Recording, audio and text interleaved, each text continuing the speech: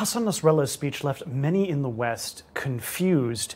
Is the Sheikh still trying to make up his mind about confronting Israel? سؤال المواجهة الشاملة يجب أن يوجه للكيان الإسرائيلي إذا استمروا في عدوانهم بهذه الطريقة وتصاعد هذا العدوان وترك آثارا سلبية أكثر مما يحصل الآن قد تكبر الأمور وتأتي المواجهة الشاملة.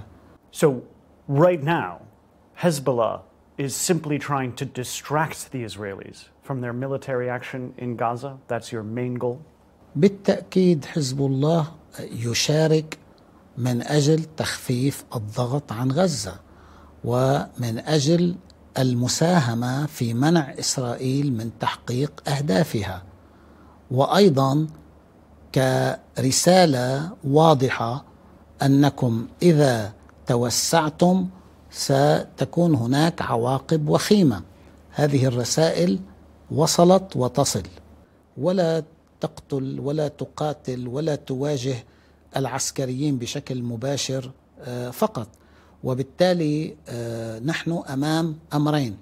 إما أن نقبل بإسرائيل تعتدي وتفرض شروطها بخسائر أقل وإما أن نواجه ونتحدى فتكون هناك تضحيات أكبر ولكن لا تستطيع إسرائيل أن تحقق أهدافها. نحن من أنصار الخيار الثاني كي لا تحقق إسرائيل أهدافها. هذا أمر طبيعي.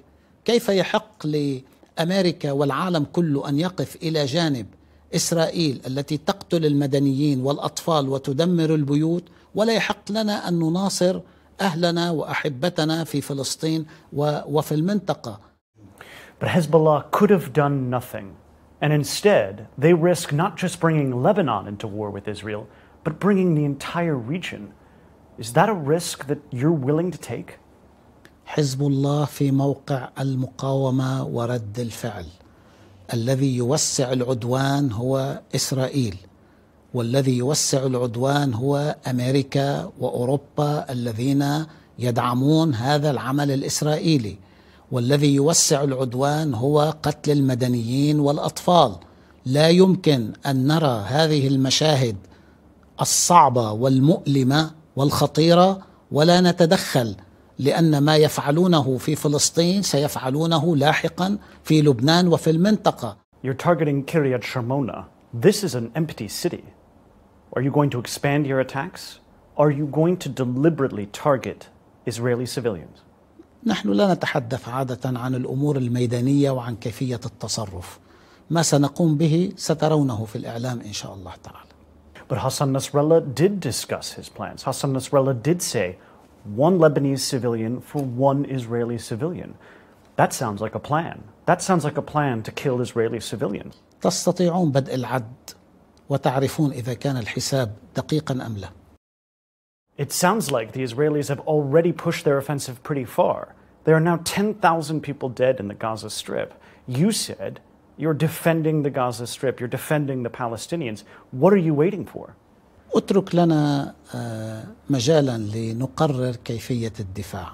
نحن نعلم واجباتنا تماما ونعلم متى نتدخل وكيف نتدخل وكيف نتوسع هذه من الأمور التي نحتفظ بها لأنفسنا انسجاما مع تقديرنا للمعركة ومجالاتها المختلفة ما نقوم به, به الآن هو ما يجب أن نقوم به وعندما يجب أن نقوم أكثر من ذلك سنقوم هذا الأمر متروك لتقديرنا وللتطورات الميدانية.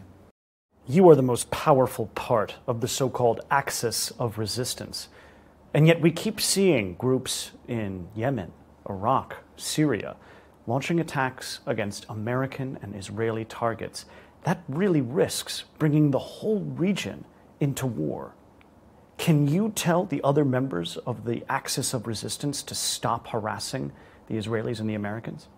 المسألة موجهة إلى أمريكا وإسرائيل عليهم هم أن يوقفوا العدوان حتى لا تتوسع وإلا إذا استمروا الله أعلم كم يمكن أن تتوسع.